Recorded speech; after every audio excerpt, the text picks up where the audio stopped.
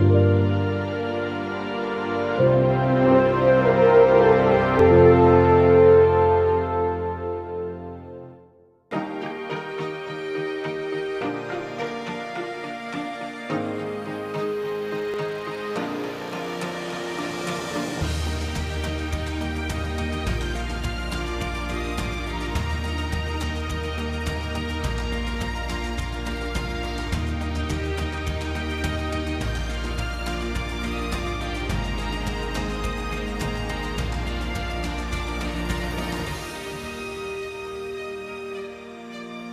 Hello, I'm Jill Clark, former England international badminton player and now commentator for our dynamic and globally popular sport.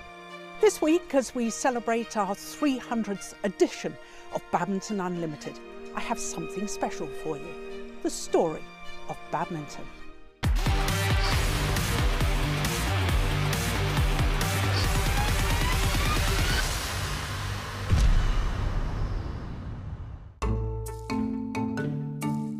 It's believed that it all began about 2,500 years ago.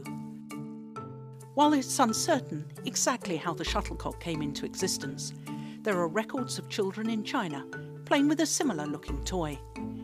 It had feathers attached to a base, and they'd kick it around for hours.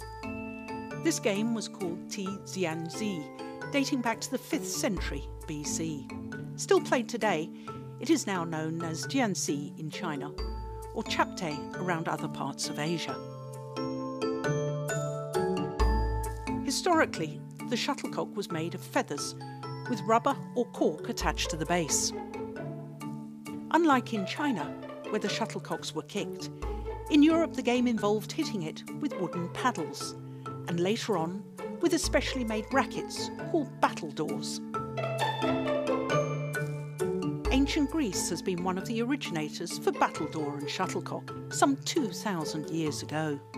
By the 17th century, le jeu du volant, exactly translated to the flying game, had become an aristocratic pastime.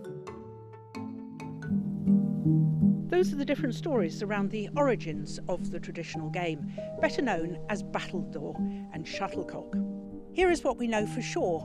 Badminton evolved from this ancient pastime.